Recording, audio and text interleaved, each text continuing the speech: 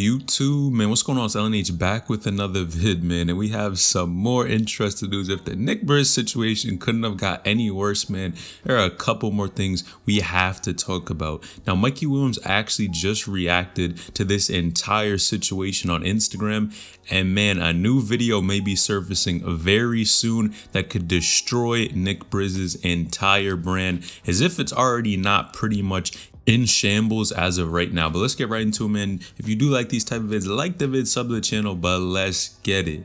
Now, one of the most wild parts about this entire situation was that Chris actually pulled up on Nick Briz and basically was telling him to come outside. And man, Nick was not budging at all, was not going anywhere. But man, let's roll the clip. Well, I'm not gonna be. I know, I know you're not. You're an internet. I swear I'll fuck you up. I promise I'll beat you up. Don't talk to me, bro. Hey, you wanna come outside? Come outside. Come outside. Come outside. You tough? Come outside. Come outside. Come outside. Come outside. Bro, if not, if you're not gonna come outside, shut your mouth. Do you wanna come outside? Do you wanna come outside? Do you wanna come outside? Let's go off this premises. Let's go off this premises. Premises. If not, keep your mouth shut. You little bitch. You little bitch. I'll beat your ass. You a pussy. You a hell. I made you, Nick. I made you. You my son. I put you in my pocket. You a whole female.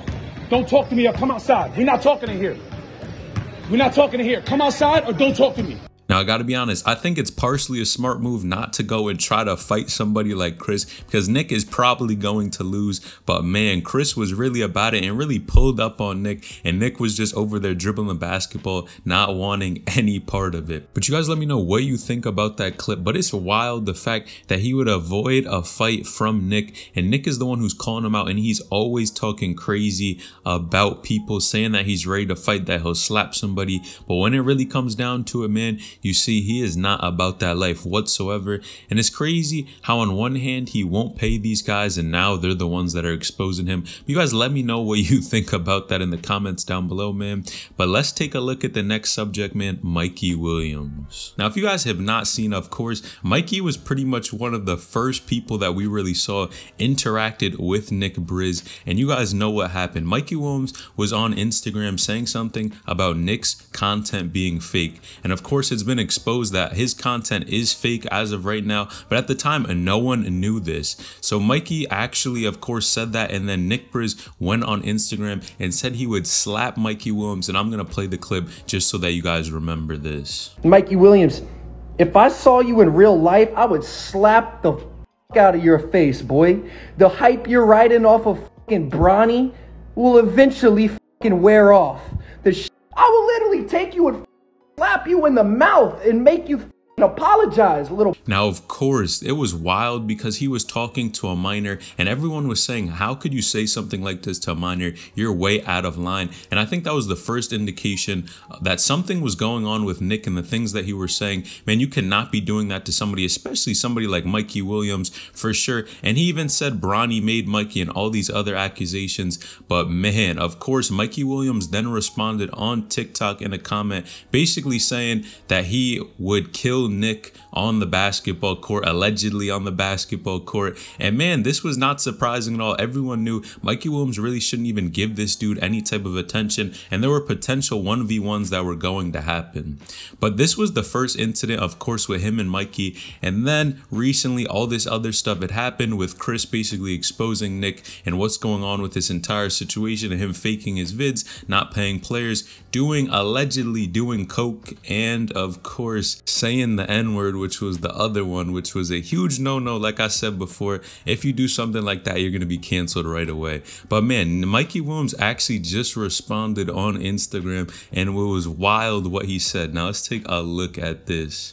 Now, Mikey actually said, Some of these rich guys be weirdos. I could never let the money change me. And I think that's one of the biggest things in this entire situation, man. Everyone is talking about money. And I definitely have to agree with Mikey what he's saying here because you guys know, especially probably when his money wasn't told like this and he wasn't making probably like 40 grand per month, it really wasn't this type of situation where people were stabbing each other in the back.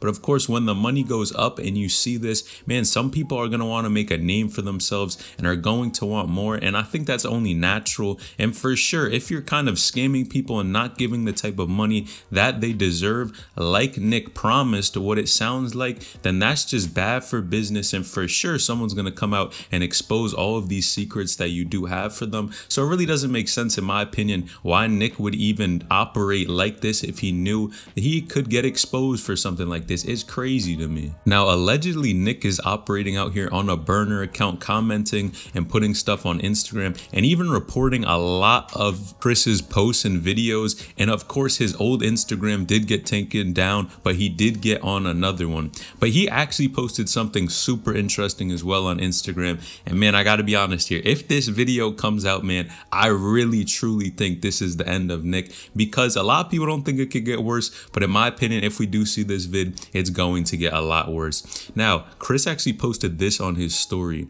That says, Officer Nick reported the post. It's okay now. Patreon sniffing video coming now too. Go to Twitter for more exposing. And that is wild to me. If he does actually release a video like this on his Patreon, of course, the second it gets leaked and hits YouTube, man, I think this dude is done for sure. It's going to be a wrap for him because if something like this releases or even a video of him saying the N word and people actually see that type of proof, of course, we've seen proof through text and other things, but if we see something like this video, people can see it's Nick, man, I think it's over for this dude if it's not already over. Now, in addition to this, there was also evidence proving that, of course, Nick had paid somebody to swing on Nasty and those talks had came up before, which is wild because if you're talking to somebody like you're, they're your friend and you're really cordial with them, making videos, but then you do something like that behind their back, and even Cash Nasty gifted him one of the videos that he recorded, and then you pay somebody to go fight with him allegedly,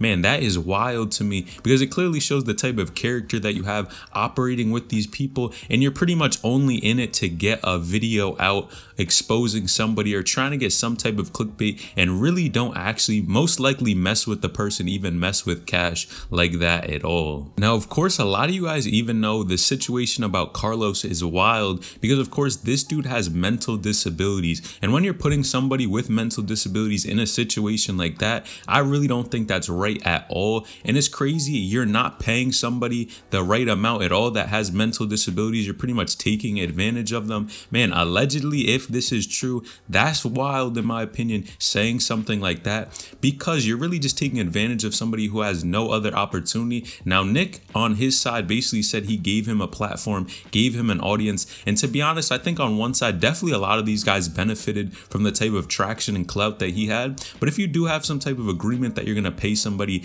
this much or some type of signed contract or whatever they had, man, he should just follow with that for sure. And it's definitely not right to take advantage of somebody who's in a weak position. Now, I think what's even weirder about that is Carlos was actually pretty much defending Nick and basically saying that he did not agree with Chris at all, which is wild to me because if he's not getting paid the right amount and only getting paid around $1,200, which he actually said in a YouTube video, make sure to include it here. How much he gave you for that, Carlos, last month?